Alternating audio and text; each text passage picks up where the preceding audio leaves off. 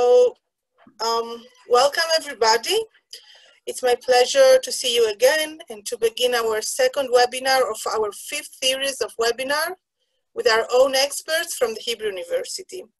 Today, we have the honor of hosting Professor Nadav Katz and Professor Ronit Calderon Margalit.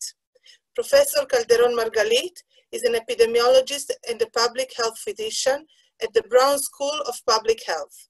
She is the director of the Israeli National Program for Quality Indicators in the Community Healthcare and the director of the International Master of Public Health Program at the Hebrew University. Professor Katz is the director of the Hebrew University's Quantum Information Science Center at the Racah Institute of Physics. They will lecture on simulating and monitoring COVID-19, physics, medicine, medicine and epidemiology working together. Professor Katz and Professor Calderon Margalit are also advisors of the National Security Council for monitoring COVID-19. Following their lecture, you're welcome to ask questions by raising your digital hand. Tomorrow, you will receive the recording of the webinar by mail, and the next webinar of this series will be on Thursday at the same time. Hope you, to see you there too. Thank you, everybody, and the floor is yours.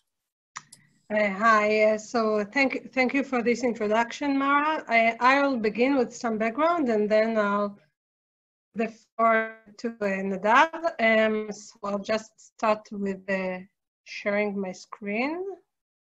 I hope this is the right one. Yeah. Okay, so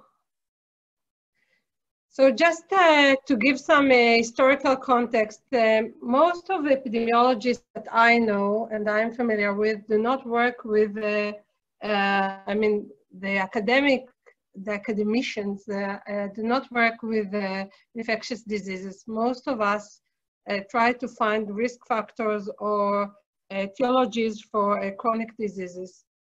However, the, those who deal with, uh, with uh, infectious diseases are mostly the public health practitioners or field epidemiologists. And the reason is a kind of a paradigm shift that I didn't want to give a, a, a slide, but uh, uh in, uh, and from the, after World War II, there was a paradigm shift from movie, that moved from uh, dealing with uh, infectious diseases to uh, dealing with chronic diseases because of, uh, of antibiotics and the, the, the, rise and increase in incidence of, uh, of chronic diseases such as vascular diseases and, and cancer. And what you see here is a quote uh, in, from WHO manual that states that the 1970s and for the years afterwards, uh, following the development of new vaccines, antibiotics, and other treatments and technologies, that led to the proclamation of a victory of mankind over my. Many experts thought that it was the time to close the book on the problem of infectious diseases, and this is a quote of the US Surgeon General in 1969. So up in this environment, in this uh, this feeling that this is over, although like, I, we all experience uh, um, emerging diseases such as uh, uh, the AIDS epidemic and uh, uh, some other diseases. In the last decades, we see the emergence of new diseases, of new pandemics, and, the, and there is a, a fear that, uh, that we'll see more and more pandemics uh, for many reasons that if you want, we can discuss later. Because of the view that we are going to ex uh, experience pandemics, uh, there are uh, manuals, that, there were manuals prepared to try and cope with these expected pandemics.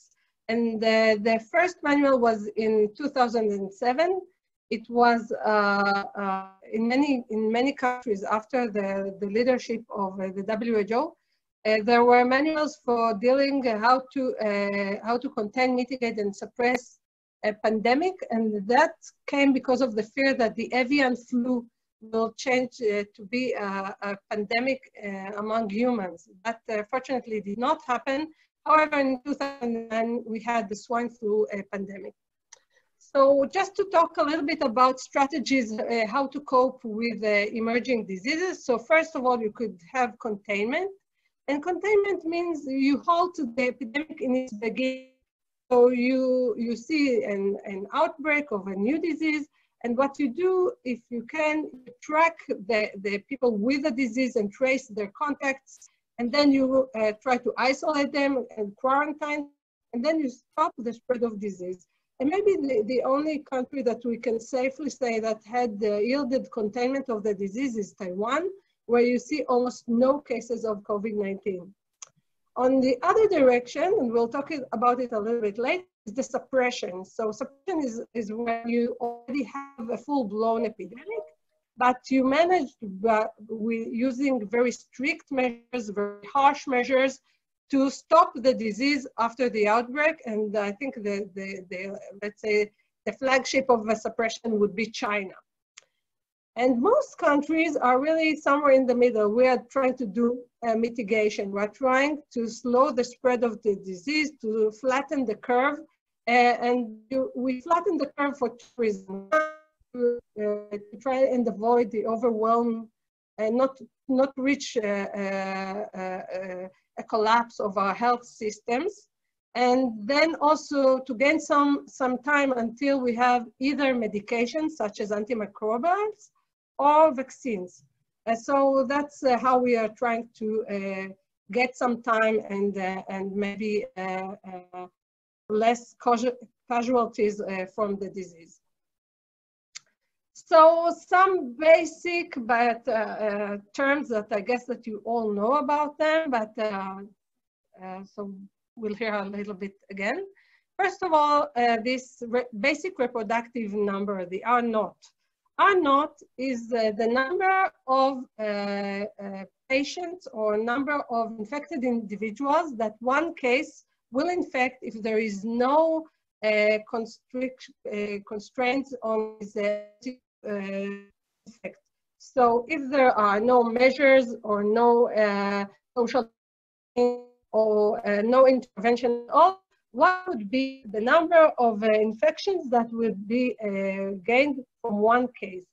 So here we see one omer infects three omers and each one of them infects other three and this is the exponential growth or, or uh, the geometric series that will happen if we won't interfere. If this is going on forever, at the end we'll see that uh, many of the population will be infected and assuming that all infected persons get some kind of immunity, we'll get what we call herd immunity. So herd immunity is the indirect protection of, of uh, an uninfected person from a contagious infection that uh, happens when the, the population around him is immune, either through the vaccination or the, the fact that they were infected. So most of the herd immunity that we see around us is through the vaccination. We, we have our for vaccination for measles, uh, for mumps, for many other diseases. And uh, this uh, vaccination uh, get us herd immunity such that even people without vaccination who are not vaccinated will be uh, uh, will not get the disease because the people around them are immune to the disease, so they don't spread the disease, and therefore they are uh, protected. The association between herd immunity is uh, approximately herd immunity equals 1 minus 1 over R naught. So if the R naught is 3, then you, you will get herd immunity when about two thirds of the population uh, got the disease or got vaccinated. Uh, as an intuitive measure, we know that if R naught is more than one, the disease spreads. If R naught is less than one, the disease will stop. And here what we see is what happened in, in, in uh, China. So we know where the COVID-19 uh, um, and we see that uh, we know that the first case was uh, uh, reported in December 31st. So in the beginning, there were no measures taken. So what we see here is in, in these uh, different colors, in the different columns, are the uh, the uh, measures taken to uh, contain the disease or to stop or to suppress the disease actually. So what we see is the R naught, the change in the R uh, according to the uh, policy. And in the beginning, when there were no effective policies, the R was around three. So each person that got the disease spread it to three other persons. Once they started, started with city lockdown, traffic suspension, home quarantine, and then later on continued with the centralized quarantine treatment and improved medical resources, the R, the, R, the effective R, uh, fell down and uh, it fell below one, and then the disease uh, was suppressed, and we don't see any more cases of COVID-19 in China, which is really impressive. However, China could itself with its regime to take measures that we do not, uh, we cannot probably uh, uh, implement in our countries. Uh, I want to, to give you another uh, uh, aspect of the infectiousness and what measures, how effective our measures can be. So uh, suppression or social distancing or mitigation uh, um, uh, uh, strategies include usually you know, wearing masks, uh, keeping distance from, from people, not gathering together, not using public transportation, working from home, not opening the, um, uh, all education, all schools and so on. And the question is, uh, doing uh, isolation and quarantine, how, how effective it is.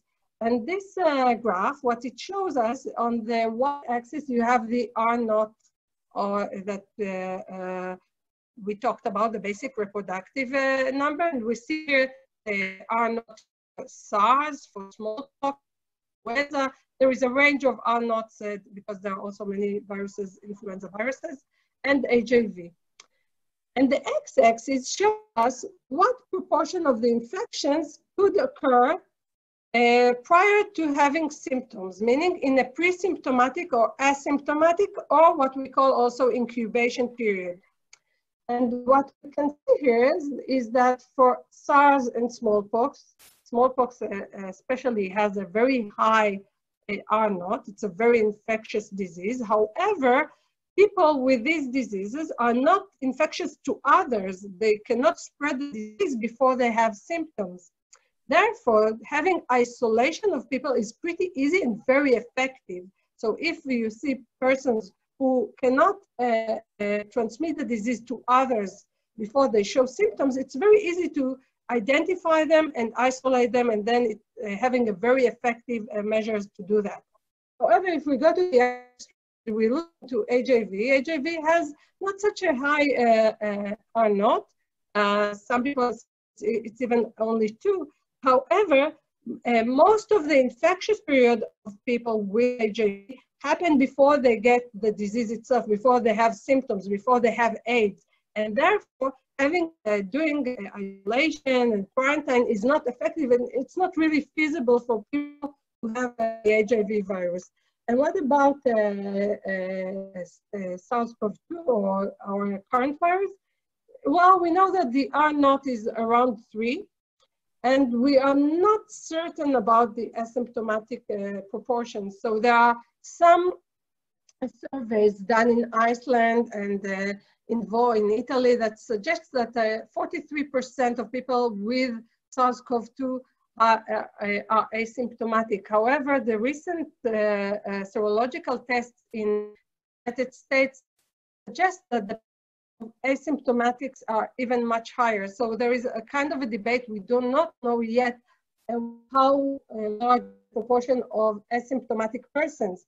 And the more symptomatics we have that can shed the virus uh, further, then the more difficult it is uh, for us uh, to, to do a, an effective quarantine uh, uh, and thus to mitigate the, the disease. So all countries uh, basically uh, practice this kind of closures and, uh, and this is kind of an illustration. It's not an academic one, just for, for illustration purposes. So we see, for example, in purple, what we would expect, you have this um, uh, problem that arises with the disease uh, of people that need uh, ventilation, that they die from the disease and its complications. However, this closure and the disease itself have also long-term effects, and the long-term effects could be uh, uh, people who are uh, need, need some treatment for non-COVID conditions and they are in short supply because all, all of our resources are going to the COVID-19 disease. And then if we go into this uh, third wave of, uh, of uh, consequences, we see the impact of interrupted care on chronic conditions. So we know in, in Israel, as, in many other places, that people uh, reluctant to, to go and to have their usual care or to have their usual screening or to have their usual uh, laboratory tests and so on, and will have implications that we cannot estimate now. And uh, another thing that is really scary for all of us is, of course, the, the uh, implications of the economic injuries. And this is here in this uh, red line. Uh, what happens from the loneliness, the psychic trauma, the anxiety, uh, the, the effects of a, huge recession and the unemployment and the burnout of, uh, of uh, our um, medical staff. So all of this uh, really bring us to think about uh, the balance between the hazards of the COVID-19 disease, because you could say, well, the best thing for us is to put everyone under quarantine from the disease. However, we, we, do not want to do that because we know that the other implications are severe and they are very costly. And in fact, we never had such a situation, at least in the last 50 years, and I think even more, such a situation, the whole population is, uh, uh is lockout and uh, uh it's uh, uh, is um, freedom a freedom of movement, freedom uh, of expression, freedom of work, uh, uh, constrained and uh, limited. We want to do uh, some kind of, uh, of, balancing between these closures and, uh, and, and the diseases I mentioned. And uh, the question is first, which parameter do we want to follow? The daily new cases. So this, this is from the Worldometer. I guess that most of you are familiar with the Worldometer. They have these very fancy uh, counts for every country, and these are, this is the data for Israel. Israel has currently around 15,000 cases, uh, confirmed cases of COVID-19. But if you look at these daily new cases, so I just wanted to show you here what happens uh, on April 8th. So April 8th was the Passover night. It was a holiday night, and you see this decrease in cases from uh, around 400 to 150. And you would ask yourself, it's probably not because the virus is uh, observing the Passover, but uh, probably either people were reluctant to go and uh, be tested, or there was a shortage of tests, or a shortage of reagents, or a shortage of swabs, or what, what have you. So this daily new cases is not such a good measure to follow the spread of the disease. What about deaths? So follow-up on death, it usually takes time. Uh, there is a time lag between new cases and deaths, fortunately. Uh, but on the other hand, let's look here, and uh, this is two pieces, uh, one in the New York and the Economist, a very similar one, and it's based on the European CDC. Uh, what they are doing here is they're following the mortality and comparing it to the, the first decade. So in the, all these uh, um, uh, uh, uh, gray lines, in the gray lines you see mortality in 2020 to 2019, and the red line is the mortality in 2020. And I think we really uh, get the impression that in 2020 we have excess mortality. This is for England and Wales. So in England and Wales, they estimated that up until now, in uh, 2020, we have an excess mortality of 16,700 uh, deaths.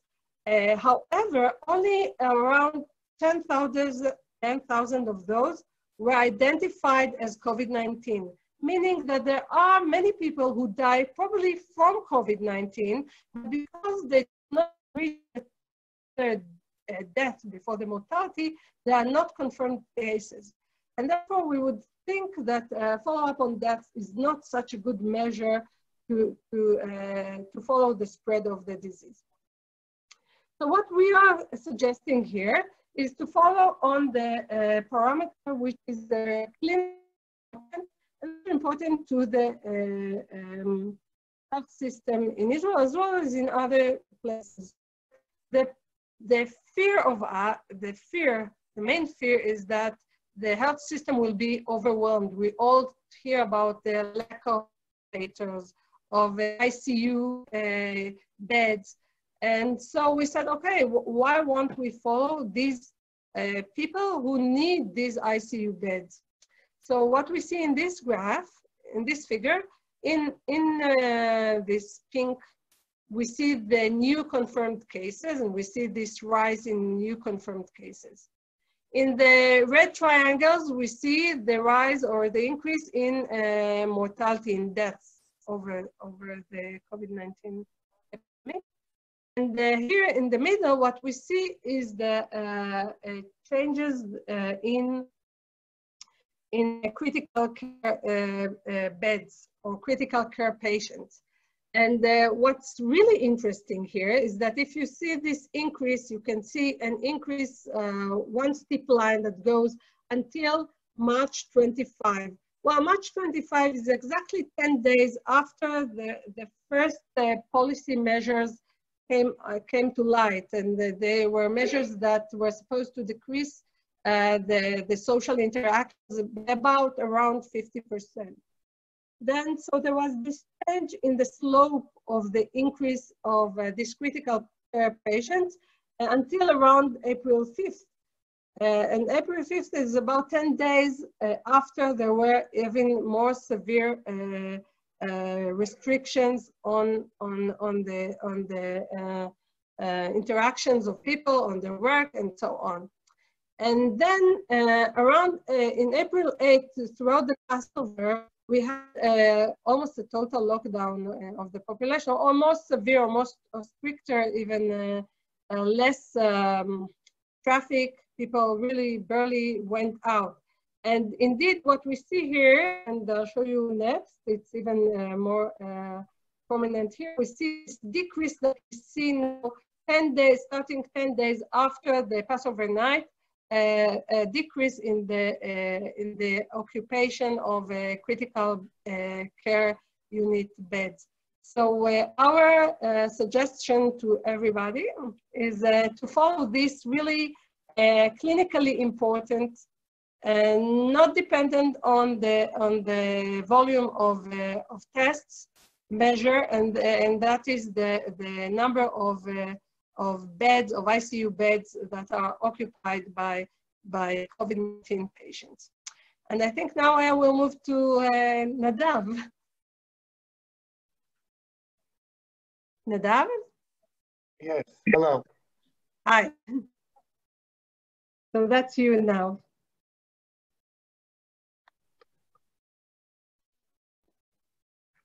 Okay. So can everyone hear me? So uh, welcome and thank you for uh, coming. And I want to say a special thank you to uh, Ronit and uh, our other members of the team, uh, especially the other physicists and uh, students who are doing all the work. Their names are up here. And really it is a unique effort of the Hebrew University to work together in having this special team and strength uh, that we can communicate and share knowledge has really made this team especially effective.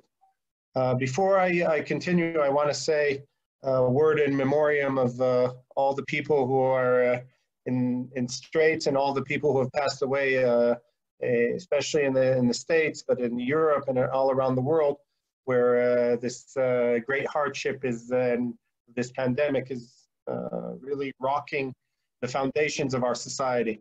And I want to say that uh, we really see how the world needs to join forces and uh, unify its knowledge in order to uh, make uh, progress on uh, combating this, uh, this horrible situation. Um, Now, it's a very confusing time. Nadav, Yes. can you open your camera? Sure. Okay, thank you. Here. So it's a very confusing time, and here on the panel on the right, you can see uh, uh, all these uh, measurements, and uh, it's it's quite confusing what to measure and how to measure. And Ronit uh, gave us a very quick and beautiful overview of uh, epidemiology, leading to our understanding that it's very easy to get sidetracked by so much data, and to see that there are some aspects which are universal and some aspects which are very, very particular to regions, countries, cities, people, and trying to understand uh, the COVID-19 in order to mitigate it is really a challenge. And uh, one thing that uh, we're encountering here in Israel is that uh, it, it's really hard as experts uh, to, to say something that isn't immediately second guessed. Uh, one of the contributions that our team is especially uh, uh, proud of and that we convinced and were part of uh, other groups that convinced government to do a very uh, harsh and fast lockdown in Israel, which turned out to be the, the critical slowing down at the point here where I, I show here. At the point here where, where I show uh, there, there is a transition uh, as, as showed, where we were able to stop the exponential growth before it became so harsh. Altogether, uh, maybe uh, our friends from abroad should be aware that altogether at this time, uh, Israel has 200 fatalities from COVID-19, which is uh, uh, every person, of course, is a tragedy, but on the scale of the predicted even tens of thousands with this horrible red line escalating here, uh, where, where, Israel is, is doing uh, much better than, uh, than other places. Now, in order to model these systems, we want to think about um, a very universal dynamic. We talk about susceptibles. We, these are people or populations which are, are prone to, to infection, and they are infected with a certain rate, as depicted here in this diagram. They get infected, and then with a certain rate and a certain probability, they recover. So this is a very naive model, and, and its dynamics is when, it's, when the model is solved on a computer, gives you these typical curves. A very rapid exponential rise in infected population, uh, and then it, uh, it slowly uh, decreases and people recover. Now, it should, of course, this model doesn't contain uh, fatalities, uh, but uh, of course there's also a potential error, arrow coming out of the infectious population leading to fatality with a certain probability. Now, of course, the reality is, is much richer, but before I go to the precise model we're using, I, I want to mention why physicists are, are uh, uh, helping and, and jumping into this uh, boiling pot of, uh, of virology. It, because in nonlinear physics and in science in general, we find these sort of models appearing quite universally. So the analogy which is which immediately comes to mind is that of a wildfire, and uh, as shown here in the image below, and and the the virus spread is very similar in its dynamics. Uh, of course, there are different uh, subtle details involved, but the, but the overall dynamics is that of a wildfire. And everyone knows that if you don't put out a fire properly, it could burst into flame uh, in a particular hotspot if you're not careful. And that is indeed what we're talking about also with the virus spread. Um, now, in, in more, uh, less dramatic, uh, but uh, to us uh, no less exciting uh, situations, we talk about chemical reactions. And my personal contribution some 20 odd years ago as an undergraduate student was to discover that these sort of equations also govern the formation of stars and molecular uh, objects in, in hydrogen formation as, as part of the dynamics of new stars appearing in, the, in, a, in a interstellar clouds. But going beyond, there's a whole field of uh, econophysics and uh, the spread of ideas and genetics and evolution, which all have uh, similar equations of the spread uh, and growth and then ultimate uh, uh, relaxation of these processes either in time or in space. And the equations are similar. But as we all know, God or the devil is in the details. So it isn't enough just to make these rash global universal statements, we should look at the details. And one of the most important aspects of COVID-19 is that it's, it's age sensitivity. So the first thing we did when we set out to uh, replace the very naive uh, model that I showed before uh, was to, to note that we have to divide it up into different populations in, by age. So uh, we have uh, a set of populations where we, we look at how uh, each age reacts. And every arrow here depicts the probability and the rate at which uh, these, uh, these uh, populations in each one of these circles can evolve into another. So for example, this transition is that of people susceptibles at different ages indicated by the subscript I becoming infected and these are the symptomatic populations, but these particular, this particular group is the one which will uh, go to recovery with a particular rate. So this is actually the, the, the route which we looked at before. But now we've added a bunch of other routes. One of them, for example, is the asymptomatic route, which uh, Ronit described before. And here we're saying that at least half of the people are asymptomatic and are not even uh, detected, and they go directly to recovery without us knowing about them. However, in the model, they're still counted as infectious. And that's, of course, part of the problem with this particular virus, making it especially difficult to contain by uh, just uh, measurements and, and isolation of the infected, because you often don't know who's infected and who's, who's uh, wandering around uh, uh, without knowing it, it himself. Now, uh, of course, this model allows us to go much deeper and then work up down into the hospitalization and then the critical patients and then of course fatalities. But of course we prefer these routes going to the recovery. Now the critical aspects are the infection rates per age group, which initially are, are uh, the business as usual infection rate uh, of the, uh of the uh, disease. And this uh, eta here, which is the fraction of symptomatic infected. And that can be, as we said, uh, a relatively uh, small number where actually most of the people are asymptomatic. So we, we took our model and we compared it by just solving it on a computer and, and calibrating it. We compared it to various other countries and we saw a, a relatively convincing fit to the uh, fatalities.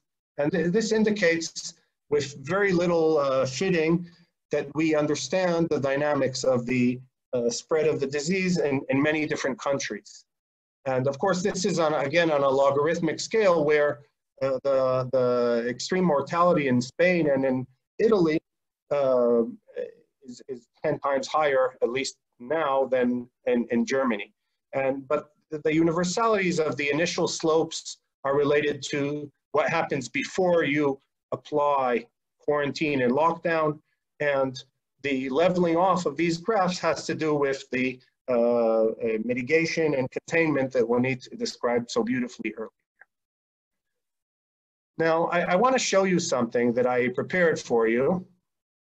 And uh, this is, uh, let me uh, exit the, uh, the sharing screen and go to another screen.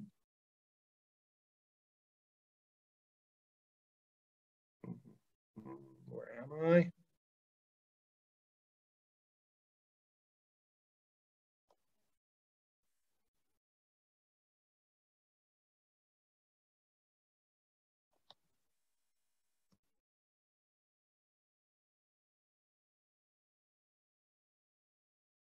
So I want to take you here to the Racah Institute of Physics website, where we've set up a simulation of how uh, the, uh, the lockdown influences mortality and, and we're able to control the infection uh, uh by qu quarantining different age groups.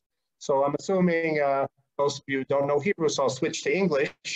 And these graphs show you and allow you to uh, change the quarantine parameters, the closure, and how strong is the closure. So right now, this is a business as usual simulation, no closure.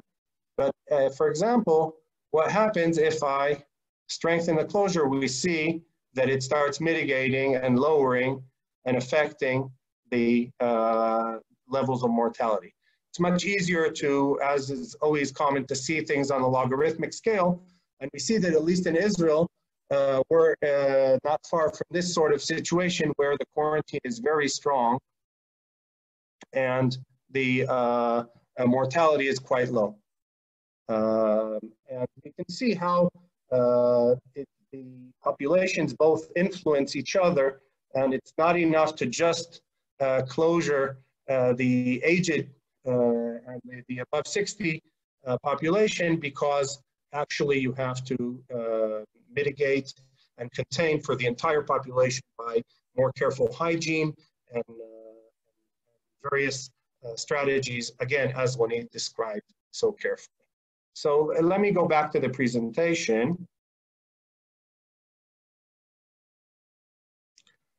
And here, for example, you see this is uh, a graph in which we, uh, as part of the simulation and as a function of time, we change the infectious infection rate uh, in an age-dependent way. So the, the lighter line here is what happens when uh, we, uh, for the younger age group, we uh, in, we in, in inflict a, a closure upon them at a particular time. For example, here this was around Purim where uh, Israel uh, started locking down, closed the schools, told everyone to go home and, and, and stop mingling and, and infecting each other. And uh, the, the, the, older population, which is the darker line here, uh, uh, were instructed to go into even more careful quarantine. So their infection rate was, was pushed down even lower. And this sort of closure measure is what was simulated in the website I showed you before and what what was uh, changed by the slide bars was these levels here, the level of quarantine and closure on the younger population and the older population. So now actually we can learn a lot more by the simulation because it gives us a dynamical control. We don't just apply quarantine, we can also open it up. For example, here, what would happen if we applied a closure and then after a few weeks we got bored people started griping, the economy, and then we just released it suddenly. So we see here the dynamic. And this here, it's per uh, decade of age group. We see that there's a relatively slow uh, growth of the infection, but then at some point, which is this point in time here, the infection, infection rate for everyone jumps back to the business as usual level.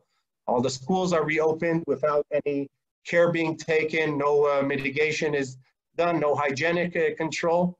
And immediately we see that the fire bursts back into flame and uh, the critical levels are exceeded and we see uh, death and not just of the oldest uh, decades, but also of uh, younger people tragically passing away. And when we take the total, here uh, we see that uh, something uh, which is also mentioned by Ronit, we exceed the, the, the national capacity of ICU and ventilation units to support the, the most critically ill. And at that point, the mortality goes even higher because, uh, of course, treatment is degraded by uh, that excess. So approaching the end, I want to remind you of the measure that uh, Ronit described. She uh, explained very uh, clearly that just looking at the detected infections is a very uh, biased and, uh, and difficult to um, calibrate measure. And of course, it's indicative and it's important to, uh, to, to, measure and detect infected patients, but actually the most reliable measure is to look at the uh, severe and critically ill patients requiring uh, ventilation and respiration assistance. And this measure uh, really tells us how well we did 10 days ago. So, or uh, depending on what we do now, it will influence in 10 days into the future. So the important uh, thing to do is to consider measures that uh, are put into effect and then uh, monitor them for around two to three weeks, determine success in, in, form of this number here not increasing beyond a certain threshold, which is predefined. And if it, if it exceeds it, you have to lock down, at least locally, where you see these outbursts, just like a fire. You detect the places where you have a flame bursting and you immediately uh, uh, put in more uh, stringent measures to put it out. So uh, to summarize, mortality in Israel is, is quite low, and that indicates a very strong lockdown and quarantine of susceptible populations. Despite uh, journalistic and, and popular criticism, it appears that so far in Israel, the measures were uh, quite ad adequate. But th this uh, basically slowed down time. And that allowed us, and, it still is, is critical to learn from others and build up infrastructures uh, of, of scientific, technological, and medical capability. Um, we need to measure and understand both local and noisy dynamics better. The model I showed you was a model which uh, gives you sort of like a national average. And actually what is needed is a more careful modeling of local uh, behavior along with uh, the, the global national capabilities and mitigation strategies. And we're working, of course, on these models as well. Uh, some of them are, are beyond uh, numerical capabilities. Some of them require too many fitting parameters to be useful. And we're trying to find a, a, a situation in the middle where we can model, but and also uh, estimate and learn. And of course, the exit strategies involve running all kinds of different uh, scenarios as I described before, releasing different age groups, and in parallel, uh, the most important thing the simulations do is tell us what not to do. And I showed you one example is it, it, it's great to have a lockdown and pat yourself on the shoulder, but if you release it, suddenly everything bursts into flame and you gain nothing. And it, you learn a lot of, uh, I hope, humility from these models. And something which grows exponentially needs to be treated with a lot of suspicion, and you cannot trust long-term prediction, predictions. The models are not stable, and you have to measure as you go. There's too much uncertainty, especially with this particular virus, especially the asymptomatics, which uh, the literature is not uh, completely uh, clear on how many there are, along with child infection rates, which again are hot in the news now. Are the children infectious or aren't they? Uh, this one child in France, which did not affect 172 people, uh, whereas other cases were detected. And again, these are things which are hotly debated and the most important thing is to uh, go slow, measure, and, in, and release where you can, and lo both locally and both by age group, and eventually build up the infrastructure to support uh, people to avoid the damages in the economy and in social and emotional uh, damage of quarant extended quarantines on the elderly.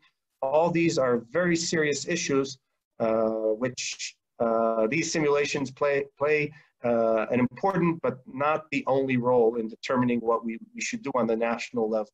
So I'm very proud to be part of a team which is giving important advice, but there are many others doing it, and it's very uh, important to have uh, open dialogue from many different disciplines, and the Hebrew University excels in this universality, uh, ranging from economics, physics, medicine, epidemiology, and we're, we're again proud to do our part in this national and global effort. So thank you for your attention and we're happy to take questions. Hey, oh, th thank you, Nadav. This is a fascinating lecture. Uh, so I see we have here uh, Joseph. Joseph, would you like to unmute yourself or do we unmute you? And uh, ask a question, Joseph Oscar. I, I don't see that I can. Can you hear me? Yes. Oh, you do? Oh, I'm glad. Well, first of all, Ronita, I would like to ask you one question.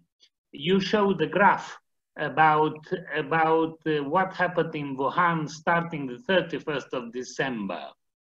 But according to most information which appeared in many, many newspapers around the world, apparently the epidemic started sometime in the middle of November. Consequently, how do we how do we treat that data if it's not available?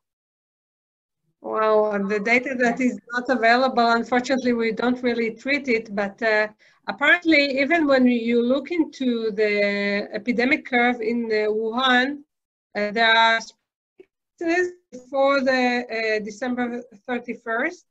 So you, you don't see, I, I guess what they didn't do then, because it was in the, if you remember, early days of the epidemic, there was a little bit of the, the news so I guess that we don't have the, the any epidemiological uh, research, I mean, uh, or questionnaire or contact tracing, they did not publish it. So we know uh, after January when it was kind of a full-blown uh, epidemic. Okay, thank you. Then a question to Professor Katz then if I understood you correctly, what you say is the most important message that I got from you is that you cannot make long-term predictions. You have to base yourself and, and uh, let's put it this way, navigate at sight and, uh, and see the way it develops and then adjust the lockdown or the measurements based on short-term models because this is the most indicative. Did I get you correctly? Yes, I, I think you summarized it beautifully. The simulations help, and again, they help you mostly uh, to understand what not to do. And they, they show you, allow you to avoid the most obvious pitfalls, but ultimately uh, you have to uh, gain time in order for the system to adapt both socially and uh, uh, medically to this new situation. And, and that requires time. People are not like machines you can switch on and off.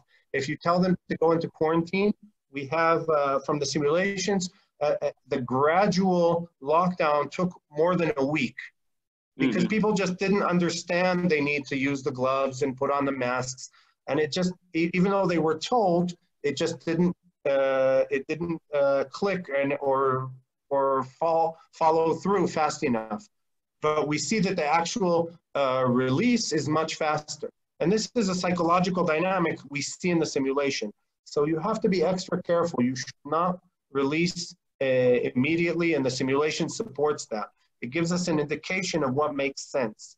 But ultimately, we need to be very humble about these simulations because they have a lot of assumptions in them. We cannot uh, trust them uh, two, three, four months into the future.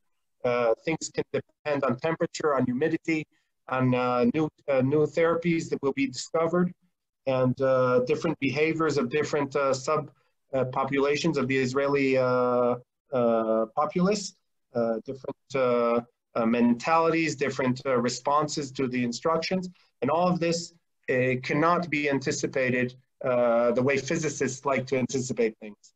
It, so needs too, to be too, tracked.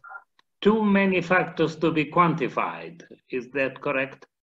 Yes, but ultimately, uh, the, the, we, the measure of the severe and critical patients gives us a very reliable indicator of whether uh, we're, we're acting responsibly. And as long as the slope is sufficiently low, we can act quickly and uh, detect uh, hotspots and, and shut them down.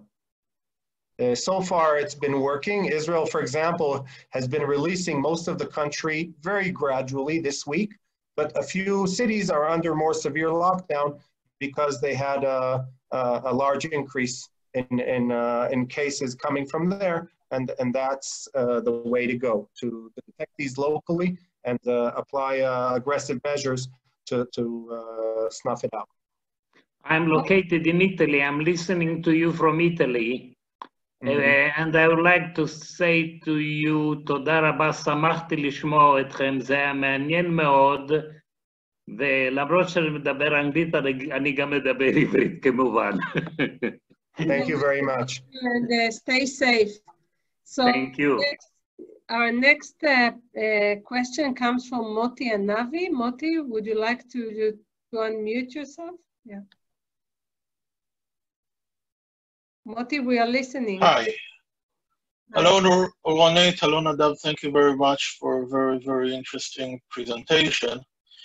I had uh, two questions. Uh, the, the first one relates to the mitigation measures. There's a lot of uh, uh, discussion today which one of the mitigation measures is the most effective. So, uh, social isolation, quarantine, the masks, the face shields, and so on. Does the model account for the uh, uh, different effectiveness of the different mitigation measures? Now, the second question I have is regarding the fourth wave, Ronnie, that you mentioned, which is the indirect deaths that are caused by depression and, and uh, uh, uh, social impact and so on. Do the models take into account the deaths that are a result of the fourth wave as well? Or do they only account for direct deaths from uh, the COVID-19? Nadav, would you like to answer? Yeah, may, maybe I'll take those. Uh, so uh, maybe I'll answer the second question. Right now, this is just an epidemiological model. The, it does not account for sociological and economic influences. These are, of course, are very, very important. And there's a, uh, as I mentioned before, we're, we're just part of the uh, advisory uh, force, uh, which is being addressed by the National Security Council, which is managing this whole crisis in Israel. And there's uh, also teams working on the economic side. Uh, the Ministry of Finance has its uh, experts, and altogether we're trying to reach a consensus. We've been asked to look uh, at more carefully at what is going on from the epidemiological side of it, and that's uh, the expertise we've built up with this model. Now, regarding the particular um, aspects of isolation, so the, the particular model we're working with has has numbers in it which we attribute to different behaviors. And and calibrating these numbers is not at all obvious as i mentioned before. If people are told to wash hands and or uh, to wear masks it's not at all obvious what number i should put in as the new infection parameter. We can calibrate it in retrospect and it, it looks like uh, the the most critical aspect is that of hygiene and uh, especially the masks, but also uh, more careful hygiene in general seems to be uh, the most critical aspect, along with uh, careful, extremely careful isolation of susceptible populations. Uh, I want to say that the tragedies of uh, old age homes where infection starts spreading are, are, are happening all over the world. In Israel, we have a few of these cases, and everyone is shocked by them because uh, people above age 80 uh, in these old age homes, when they're exposed to it, the, the mortality is extremely high. And, and that's something which uh, I think all countries and all uh, uh, people should be especially careful to avoid. Thank you. Is that, uh, Moti, did that answer your question? Yeah, thank you very much, uh, Ronit Nadav. Thank you. So now we are moving to Alan Zinober or Zinober or Alan? Can you hear me? Yes. Uh, now we don't hear you. You hear me? Yes. Uh, in the in the UK, just want to can you switch off the sound then? Uh, in the UK at the moment, a lot of people who normally would present at hospitals with heart attacks and strokes are not going to the hospitals because of fear of COVID. And it's a very high percentage decrease of these people going. So presumably a lot of, um, of people are dying at home, uh, not necessarily from COVID, but of heart attacks and strokes. The second thing I wanted to raise was um, having recovered from the disease, uh, it doesn't necessarily imply that you will have complete immunity against the disease. It seems that in a number of cases, people uh, do not uh, acquire immunity and, and could be reinfected. Uh, wouldn't that make a dramatic change to the excellent models, age related, that have been shown? Yes, so uh, first, for your first comment, that's a thing I, I think um, that in many, in almost in everywhere, we see that people refrain from going to to hospitals e either for uh, emergency care or for even for the routine care. Important to to keep their safety and health, and uh, for sure we'll have uh, some some kind of that may be the second or third wave that I've told there. Uh, so yes, that's for sure that people uh, perhaps because they refrain from going when they have mild symptoms, some of the people uh, die on their way or while or when they, arrive to the hospital because they waited too much uh, with their heart attack or with the cerebral uh, CVAs and so on. So that's certainly I think we should worry about. Um, and and your second question? What? Um, um, it's about uh, after you recover from the disease. Yeah, yes, yes. Uh, you, you won't necessarily have immunity. So uh, uh, the current assumption is that you do have immunity, and even the cases that were uh, positive after they tested negative, the, the assumption is that uh, one of the tests was a false test. So either the, the negative test in the middle was a false negative, or the second positive after the uh, negative is a false positive. So the, the current concept is that people do get immunity. We don't know for how long this immunity will, will suffice. So whether this immunity will be lifelong immunity or whether it's only for one year. But uh, if we don't, I mean, uh, all these models uh, assume that uh, people who got the disease are immune to the disease. But time will tell. It's a new virus. We don't really know. So uh, we have to hope that the, this is the case, even though that uh, the, the, also there are uh, reports that not all people that uh, got over the disease have antibodies, that they have maybe developed a cellular immunity that is not manifested with antibodies. It's all probably too soon to know. we learn, we learn every day. It's really amazing how much information is flowing all around us. Okay, thank you very much for that. I, I just want to mention something about the model. The model is actually a work in progress. Uh, we're, we're now on, on version number 33, I think, of the model because uh, every few days a new number or new research flows in and we modify the parameters or even add a new trajectory which we didn't know about before. So if indeed this uh, business with uh, people not um, acquiring immunity is, is, uh, is the case, we can add it into the model as, as one of the trajectories that is possible. Uh, uh, of course, we hope this won't uh, manifest, but if it does, the model can handle it. It just needs to be modified. Okay, th thanks very much for the good answer. Thank you. Uh, and Danny, Danny Zobin. Uh, hi, so thank you for the presentation. And um, uh, so I wrote down here a few questions.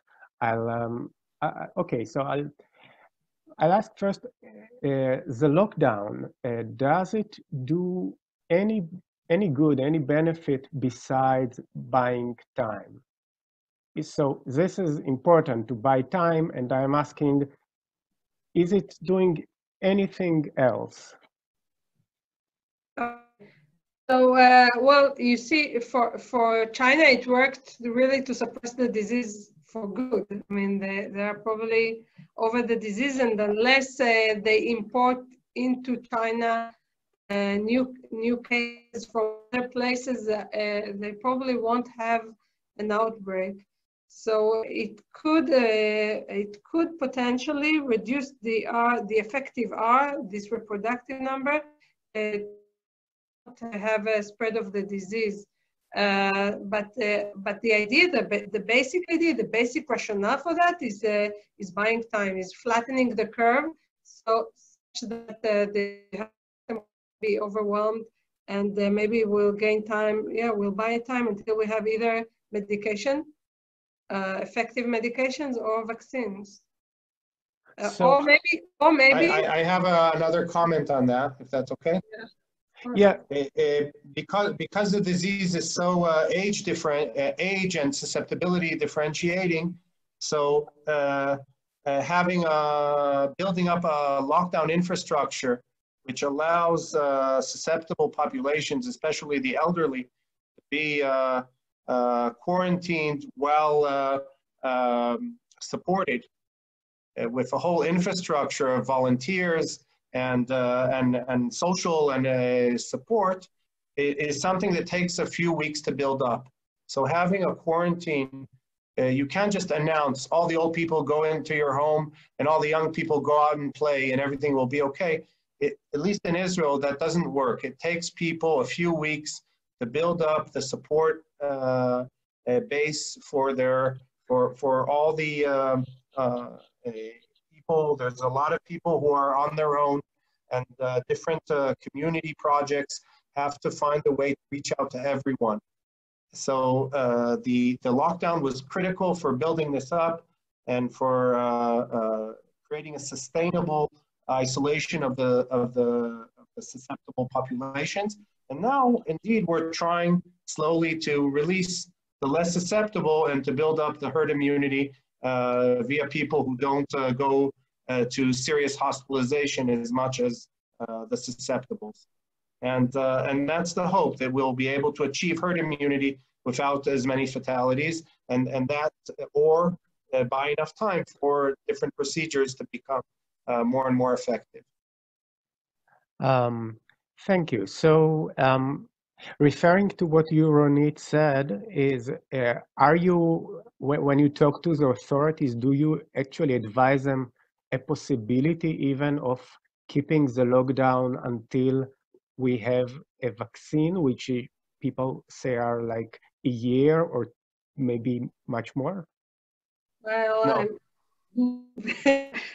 you see that the, the effects of lockdown are really detrimental. And so uh, let me let me give you examples from Africa, for example, because it's not Israel, it's more just to take it to the extreme there you would talk about, uh, people talk there about food security. So we don't want people to die from uh, starvation, just uh, but not from COVID-19. So we have to balance it. Uh, uh, uh, me, on the contrary, I, I, even I'm trying, and we are all in this fantastic group. We when we once we saw that, for example, the the the, the slope of the of the critical and severe cases is flat we said, well, it's time to, to do a gradual opening of, of, the, of the economy because people are really devastated. The, the, our social circumstances and social support from the government are not as uh, big, are not great enough to support people without without work, without uh, income. Uh, we, we don't have a, such a good uh, social welfare support, and uh, we, we do need the economy to keep on moving anyway we, we will face uh, we will face recession so we want to keep at that minimum in order to to let people have have a sense of life. I mean we won't die from the we will die from other things. Yeah. Yeah of course. So, so you are this sounds just eh, so you're saying we we really eventually we can only do this for a short while to build infrastructures and we kind of uh, used it already. So what we can do. So do you agree with what seems to be the government uh, taking it back to open? So, so the, the direction seems seems fine. My, my personal problem, and it's uh, it's kind of a personal uh, opinion, of course, is that things are not really organized. So it's not you don't get the feeling that there's a determined policy that people really thought about uh, the implications of everything. So, for example, they say practice uh, practice uh, social distancing, but then they will open these beauty parlors or or so you say, okay, where, where's where's where do you put social distancing when when you have your cosmetician treating you? So something is not really. It seems like the the decisions of what will operate and what will be open and what is the pace to do that and what is the parameters to follow on on the on the success of, of these, uh, of these uh, strategies, the, it seems more uh, politically driven rather than, I would say, professionally driven or uh, we are trying, in fact, I, my colleagues in the school and I, uh, we were very, I think we were very uh, useful in, in pushing currently the, the, opening of the, of the schools because we said that without opening at least uh, for the uh, younger children, uh, the economy could not move on and it will there will be a burden and the, the socioeconomic gaps will increase because the burden is uh, really is falling in on a in a disproportionate way on those from the lower classes. And yes not for me, it's for those that don't have a, a job security and, uh, and food security, and we, we have to keep them in mind. Right. Um, okay, thank you. And um, um, another, there is one factor when I was looking at the data, which I just cannot make sense of, and I will be glad if you could shed some light on it. When I was looking at the graph of death in Israel, at no point it looked exponential, just at no point. And uh, um, my expectation was that at least at the, at the beginning, before the measures were um, were actually effective, which takes time, we would expect as a virus, like on the day one, two, three, five goes exponential, we would expect that after two weeks, for three weeks, death will go as well. So that's, yeah, so how do we make sense of that? Nadav, you want to answer or do you want to answer? Uh, yeah, so, so I brought up the graph. Is this uh, the graph you were asking about? For example, I was looking at the data myself uh, just before. Yeah. So, so here, here, here's the data of the uh, mortality. Uh, these are the red uh, triangles, and and you're right. It it's there, there's never really that much of a straight line there, which would be an exponential growth. It, it's actually a series of straight lines uh, because uh, Israel started implementing uh, serious lockdowns even before the first mortality. And, uh, and these had a, a, varying degree of uh, influence on the, on the rates uh, as they filtered through. Another point is that in Israel, and I guess in, in many other places in the West, when the ICU units are not overwhelmed, there's a, a larger delay between uh, the point of hospitalization and then going critical and then uh, passing away. Uh, so there's actually about something like uh, 11, 12 days from the point in which you, on average, uh, become seriously hospitalized with uh, respir respiratory assistance until uh, you either uh, recover or sadly the percent that passes away. And having that extra buffer means that the uh, effects of the quarantine and lockdown and, and mitigation strategies uh, actually uh, uh, reflect what happened about 20 or 30 days before. So, so Israel just caught it in time and then successively increased its levels of, of lockdown to the point at which things leveled off around uh, Passover. And, uh, and now it's time to start releasing and hopefully, and we'll see, this is a process we don't have that many models to learn from. There's a few countries that have started, but they're only about a week or two ahead of us. Uh, so uh, we're, we're trying to learn from their example, but also uh, we're going to end up making our own mistakes. It's, it's quite unavoidable, but uh, hopefully the mistakes will be ones that can be corrected and, and won't lead to a serious outbreak again. I want to offer uh, uh, another another point of view, and one is that Israel is relatively a very young population, so you don't see that many deaths. And another thing is that if you look into about half of the deaths are in uh, old age homes. So the, the people who die in old age homes, they usually do not infect each other. So you don't see the exponential growth. There is usually one source that, uh, that uh, infects all the people who are there. I mean, oh. they have one common source, let's say one treats uh, so it's there, it's the pe people who treat them, and they don't infect further. So maybe it's also a way to look into into the mortality not growing exponentially. Not sure that it's true, but uh, kind of a thought. right. Um, um, Okay, so if I can just add one more, so uh, you you will say uh, just this big debate on uh, how dangerous eventually the disease is.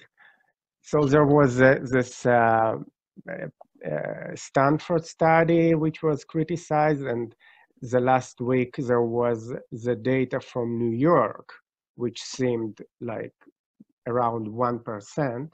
So just want to have your uh, IFR, the one, one, one of one of uh, hundred people which are infected will eventually die. That's what mm, yeah, okay. seemed from the numbers of how much people are in, currently infected in in New York, which was not that much. It was like 20%, and and it's already 50, yeah, like so the numbers of it, that that's what I took from the numbers there, and uh, and I'm just asking, do you have uh, an opinion on this debate?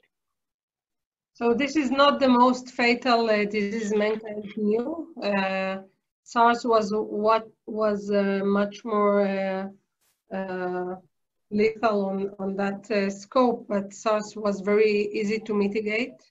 Um, it's apparently, uh, it kills more than uh, seasonal influenza and pandemic influenza.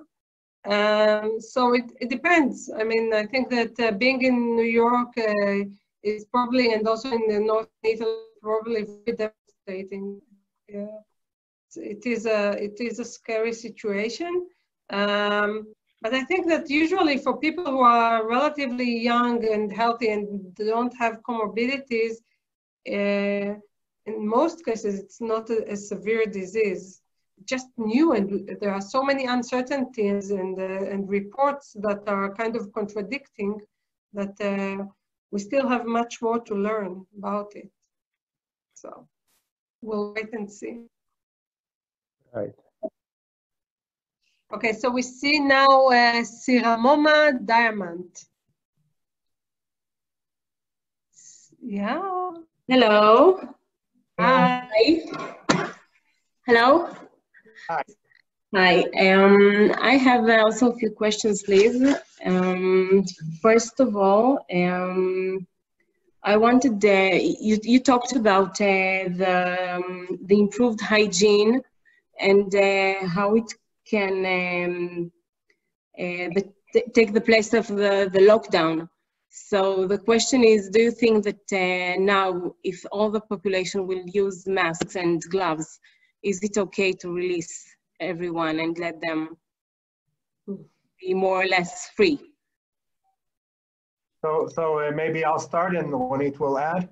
Uh, so uh, definitely not, because okay. Uh, there are too many unknowns.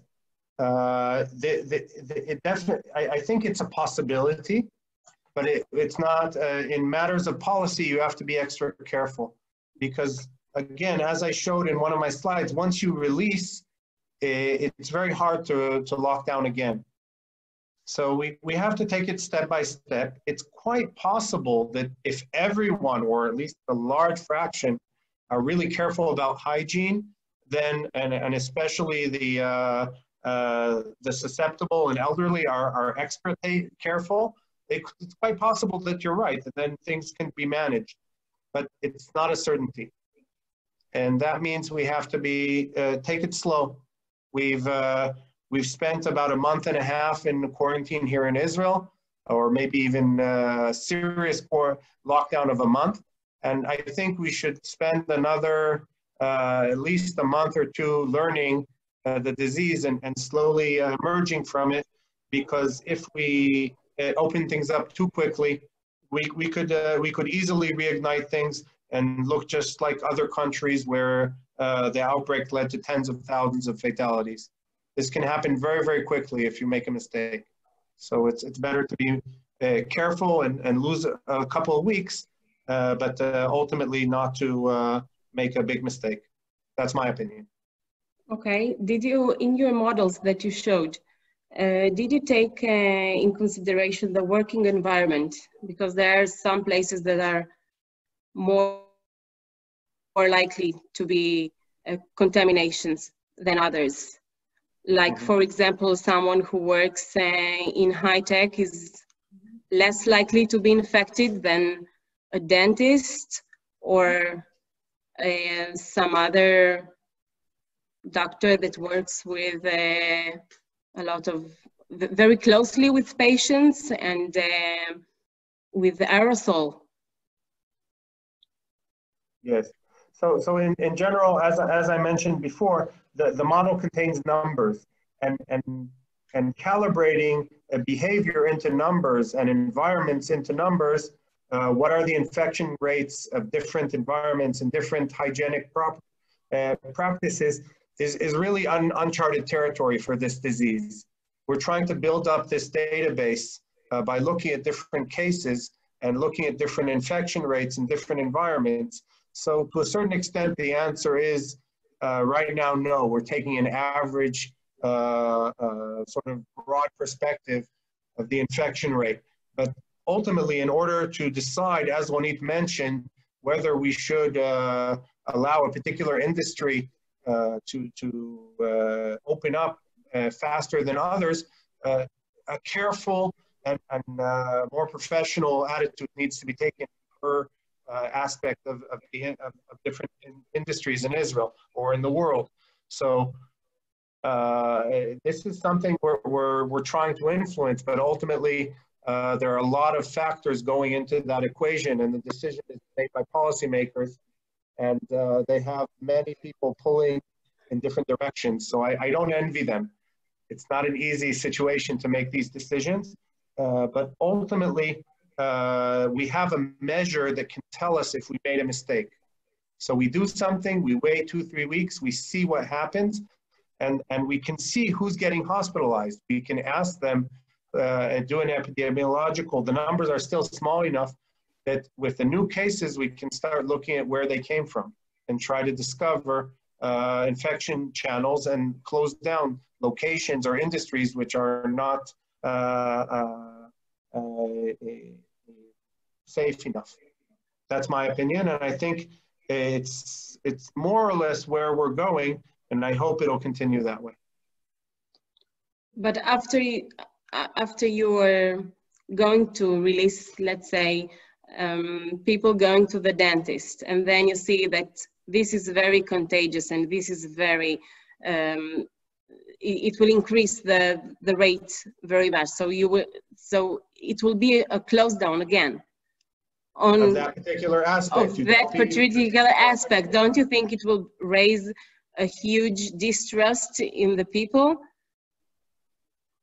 I think uh, uh, distrust comes from a, um, lack of transparency. So I, um, my my feeling is a that people want to be safe, and they and people will act uh, uh responsibly if if uh, they know what is the basis for decisions and what is the uh, the strategy taken my, feeling, and again, it's not it's not a based feeling, but my, my feeling is that uh, the current situation, when it where it seems that you know there is a government meeting and then in the morning uh, uh, you hear that one of the ministers said that he is really into hairdressing, so now we have hairdressers. So that's not a professional uh, way to decide, and it, it doesn't increase the, the trust in, in the government and its decisions. So um, my my feeling is that this uh, uh, the management of this epidemic uh, needs uh, some um, transparency and uh, more uh, highly trusted uh, people to be the spokespersons for, for, for the policy. And then I think that you could do whatever you want. I mean, not whatever you want, it will be professional. but you'll get, I mean, you'll get, you'll get the compliance and uh, the participation of the public if they trust that what you are doing is done for the right reasons, that what motivates you is, is the, the good of, of the people and, the, and I think people trust uh, such people. And, and you see in, in the States, the, the status that Anthony Fauci got uh, being the spokesperson for, for the coronavirus. And he's a, he's a very professional person, very knowledgeable person, and he speaks directly in a very transparent way to the people and they admire him. And it's not a, you know, an easy place to, to co control people. It's like, so I think I think that's the, that's the secret. We just need to find that person. Okay, thank you very much. I really appreciate your honest answers. They come from the heart and I can feel it. Um, the last question I have for you is uh, you said that you collaborated with many people on doing this. And I, wa I was wondering if you have approached anyone from the dental public health um, department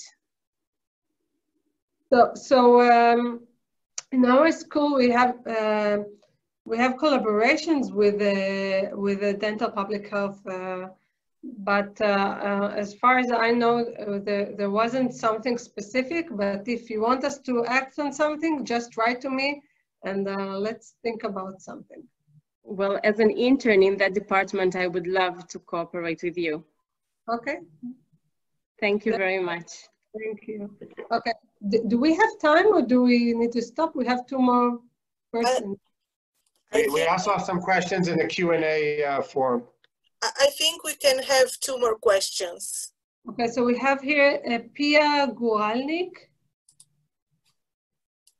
Uh, there's also some Q&A uh, in the forum that people have posted and they're waiting patiently, I think. Really? Okay. Um, let me Do you see them in the Q&A? Ah, wow. Now I see them. okay. So, so uh, some of these we've answered uh, along the way, but maybe we can uh, run through them quickly and give quick answers.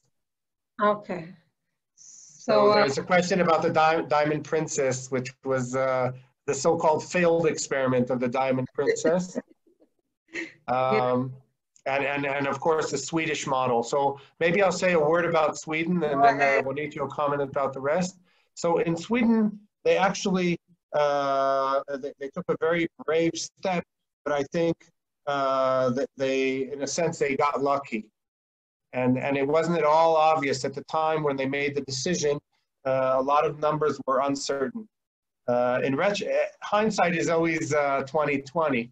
Uh, uh, but also another thing that happened in Sweden is that their social infrastructure was such that um, and medical insurance situation was that many workers who contracted coronavirus uh, didn't have medical insurance and the ability to sign in sick. So they came into work in the old age homes and infected a significant population there. And that, that was one of their uh, uh, big mistakes. Uh, they've since rectified it as far as I know, but uh, that's something that they uh, have to learn. They learn their lesson the hard way there, uh, with many fatalities. Uh, uh, Ronit, do you want to say a word about the Diamond Princess? Yeah, so, so uh, the Diamond Princess or Princess Diamond, I, I don't, I always um, get confused. Uh, it, it's a fascinating story. First of all, it was one of the first clusters of, uh, of COVID-19, so it was really interesting. It was one of the first large clusters, and you could think about that it will give us A, the R naught of the disease, and B, the asymptomatic rate. However, there are some uh, people who say that the, the, the com computations are not so correct because people were not really mixed within each other. And therefore, it's not that they, they really had the, the, an equal chance to get the disease. And also, there are people who say that uh, because, because those who were uh, presumed asymptomatic were those who were um, diagnosed uh, late, they probably were pre-symptomatic and then they developed symptoms later. But uh, overall, we, we always uh, like to look into natural experiments. Is certainly a test case that is really uh, interesting. It's fascinating. And now, now we see Denmark that opened uh, its economy and the schools, and we, we are following that uh, to see if there will be an outbreak. So yeah, always interesting. And uh, we, we are trying to learn from the, the experience of others. Okay, yeah. should we move further? So yeah. we have here uh, Ron Gill asking, Israel did contact tracing for the first several hundred cases. They're still doing it. What can we learn from those cases about the infections of children and asymptomatic people? Well, this is a really painful question. I don't know if to thank you for asking. Um, uh, Israel does Uh, uh, um, contact tracing, uh, tracking, and uh, and they do all the epidemiological questionnaires, but they don't let go. they don't release the information, not even to the people who conducted this epidemiological questioning. So it's not available to us. And only now, just now, because we made such a fuss about uh, the infectiousness of children, that they said that they will analyze the data and will tell us that children are infectious. So they already know the answer before they uh, analyze the data. Um, initially, they promised us that we will be, uh, we, we, we could participate in that data analysis, but uh, the situation currently uh, it seems that they are going to do it by themselves and I hope, I hope they'll do it correctly. I don't know, we'll see. They said that they'll have uh, results by Thursday because on Thursdays the, there is the discussion about uh, the uh, reopening of schools. So that was a painful one. Let's go. Irony, I think we have time for one more question and then. Um, okay. Yeah, so so th this question was already answered. Yeah, and we have the last one, Dvora Feder. No, I think she didn't ask. Yeah. Okay, Nadav, this is for you. Have you done any modeling assuming one significantly increased testing of everyone and or using early detection of impacted lung using O2 exchange measures or other markers? Okay, so uh, question number two, uh, I'm, I'm gonna forward it to uh, our uh, doctor, uh, Ranir Paz, who is a member of our team, and I'll, I'll find out and I'll get back to you. Uh, so in, in general, uh, I'd say there are attempts uh, to try and uh, catch this earlier, but uh, there are many, many false positives and false negatives in all the known tests. They're not very reliable up until now. There are some promising indications, and it's one of the reasons that the, the lockdown was so important because these new tests had to be developed. And of course, if we had a reliable test and we could uh, give people a bill of health or a bill of immunity, uh, that obviously will go a long way to mitigating and containing. But right now, uh, given the, the uncertainty of asymptomatics and uh, infectiousness of children, et cetera, uh, we're, uh, we just don't have it. So we've modeled these situations, but we don't have the test at, hand in a way which is reliable. And, and the truth is that uh, if you have too many false, uh, uh, false negatives, meaning you miss people, then, then uh, especially with COVID-19, with so many asymptomatics, it's a big problem.